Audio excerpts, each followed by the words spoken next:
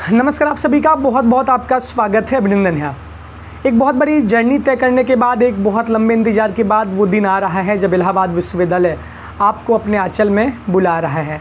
यानी कि इलाहाबाद विश्वविद्यालय हमारी माँ है और माँ के समान है। अगर हमारा एक जन्म अपनी माँ की कोख से होता है तो दूसरा जन्म हम इलाहाबाद विश्वविद्यालय की इस प्रांगण में आके लेते हैं, जहाँ से हमको जीवन जीने का एक नया पैमाना ये सिखाता है। जर्नी सी की बहुत लंबी रही है और इस जर्नी को तय करने में हमने बहुत संघर्ष किया है। कट ऑफ़ का वेट करने के साथ साथ एडमिशन होगा कि नहीं होगा, इस पर भी बहुत माथापच्ची हमारी रहती है। लेकिन इसके साथ साथ आपको अभी बताना ज़रूरी है कि अगर आपका एडमिशन अब हो चुका है तो आपको अब इलाहाबाद में आना ज़रूरी है, क्योंकि आप अब आ जाइए। और इलाहाबाद विश्वविद्यालय के खुलने की भी नोटिस अब जारी हो चुकी है।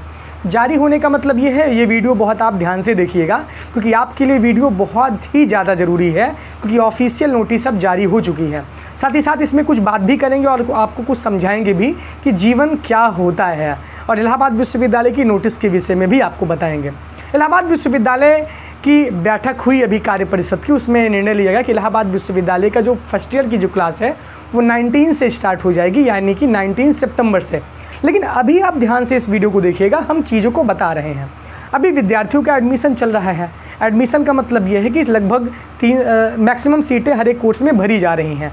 लेकिन ज़्यादातर सीटें भर भी गई हैं। बीए के भी एडमिशन चल रहे हैं। बीए की भी सीटें बहुत ही जल्द भर जाएँगी। तो एक तरीके से ये कयास लगाए जा रहे हैं कि आपका एडमिशन 25 या 30 तारीख तक एकदम ख़त्म हो जाएगा। अभी छात्रावास के भी फॉर्म आना स्टार्ट हुए हैं। छात्रावास के भी फॉर्म की डेट 19 तक ही है। आप सभी छात्रावास के फॉर्म को भर दीजिए।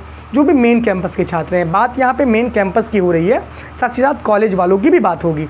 जब एडमिशन इसका क्लोज हो जाएगा, तब आप सबकी क्लासेज स्टार्ट होंगी।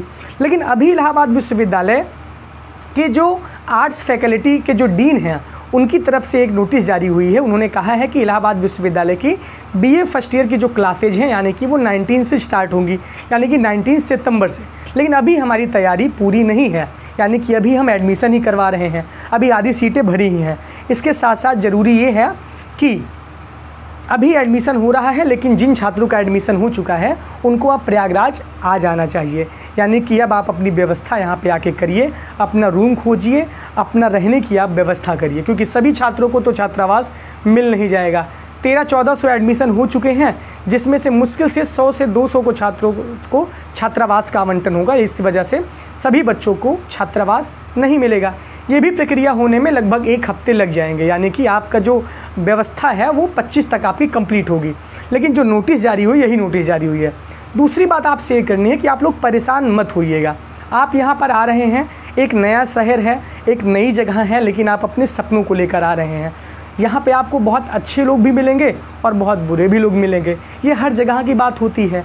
जहाँ भी आप जाते हैं, यहाँ पे दो टाइप के लोग हो। जैसे सिक्के के दो पहलू होते हैं, वैसे इसके भी दो पहलू होते हैं कि आपको अच्छे लोग भी मिलेंगे और आपको बुरे लोग भी मिलेंगे।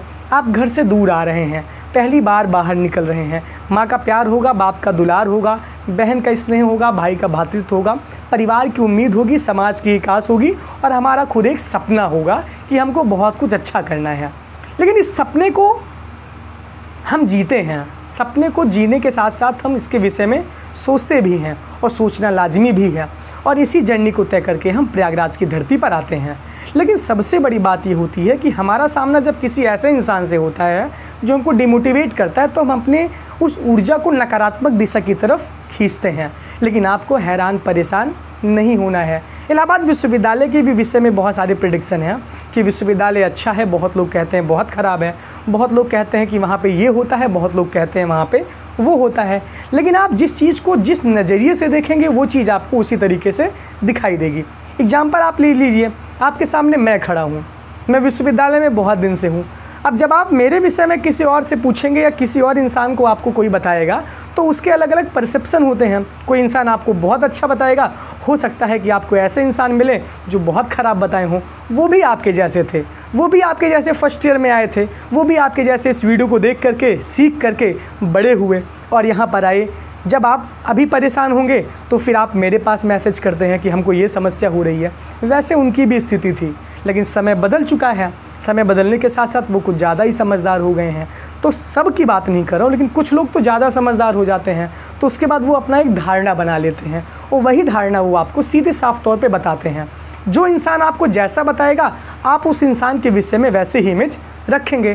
जैसे कि आप इलाहाबाद विश्वविद्यालय के विषय में किसी से पूछते हैं तो कोई बहुत अच्छा बोलता है। कोई बोलता है कि वहाँ की रैंकिंग बहुत अच्छी नहीं है। कोई बोलता है वहाँ पे नेतागिरी बहुत होती है। कोई ये नहीं देखता कि इलाहाबाद विश्वविद्यालय से हर साल जो है आई निकलते रहते हैं। अभी पी जे का रिज़ल्ट आया है। उसमें इलाहाबाद विश्वविद्यालय ने बावन सिलेक्शन दिए हैं। यानी कि 52 स्टूडेंट इलाहाबाद यूनिवर्सिटी के कैंपस से हुए हैं, जो जज बने हुए हैं। पीसीएस की वैकेंसी फाइनल होती है। इलाहाबाद विश्वविद्यालय के छात्रों की होड़ लगी रहती है लाइन लगी रहती है।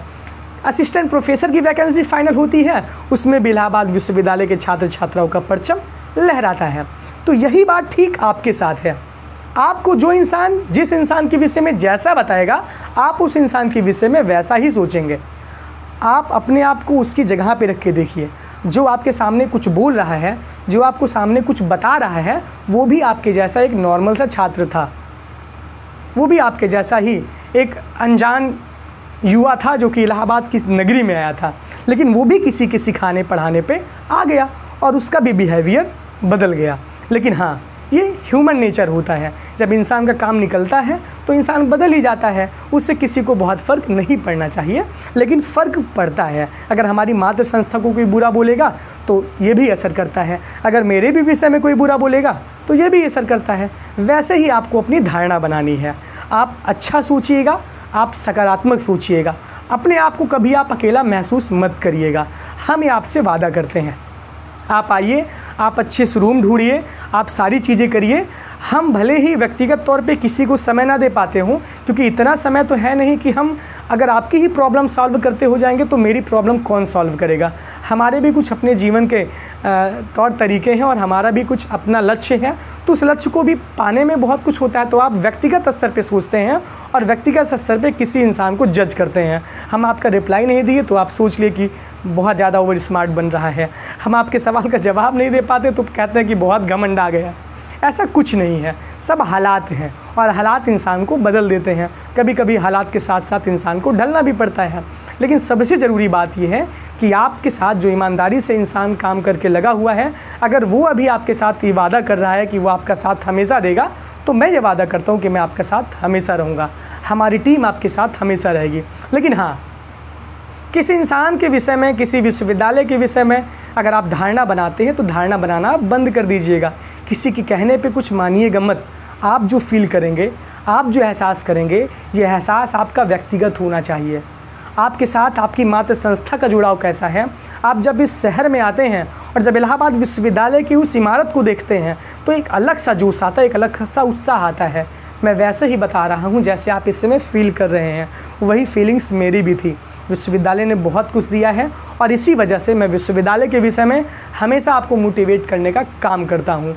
बाकी कोई कुछ भी बोलता, उससे मुझे ज़रा सा भी फ़र्क नहीं पड़ता और उससे आपको भी फ़र्क नहीं पड़ना चाहिए। लेकिन हाँ इतना हम जानते हैं, साँच को कभी आँच नहीं है।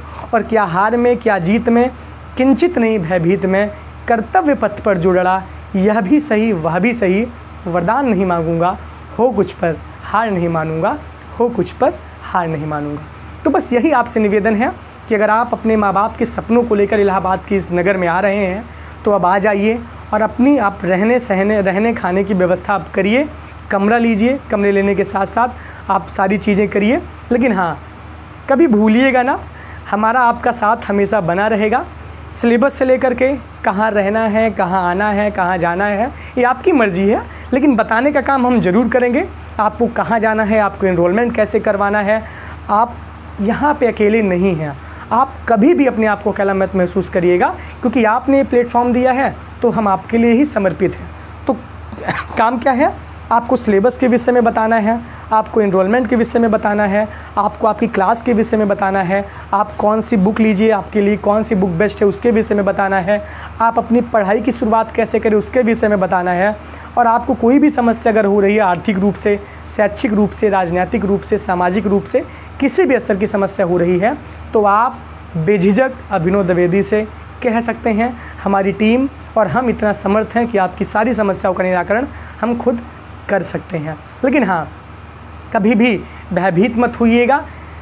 जीवन है, जीवन में अच्छे और बुरे का संगम मिलता रहता है। कभी आपको बहुत अच्छे लोग मिलेंगे, कभी आपको भ्रमित करने वाले बहुत तमाम लोग मिलेंगे। लेकिन हाँ आपका विश्वास अगर अटल है तो आप कभी भी नहीं भटक सकते। और ये हमको पूरा विश्वास है कि आप एक बहुत अच्छे छात्र हैं। आप अपनी मातृ संस्था के प्रति हमेशा ईमानदारी बरतेंगे और इलाहाबाद विश्वविद्यालय को पुनः उस बुलंदियों पर पहुँचाने के लिए हम काम करेंगे। और वही कहते हैं ना कि पुराने लोगों की बात जाने दीजिए, अब नई पीढ़ी आ रही है तो हमें नेतृत्व करना है। हम बदलेंगे, युग बदलेगा, हम बदलेंगे, इलाहाबाद विश्वविद्यालय बदलेगा। ये सारी बातें आपसे करनी थी। बहुत बहुत धन्यवाद आपका। लेकिन कभी भी भयभीत मत होइएगा। बहुत बहुत आभार। इलाहाबाद विश्वविद्यालय आपका स्वागत करता है, आपका अभिनंदन करता है। एक शानदार, एक खूबसूरत और एक प्रतिष्ठित विश्वविद्यालय में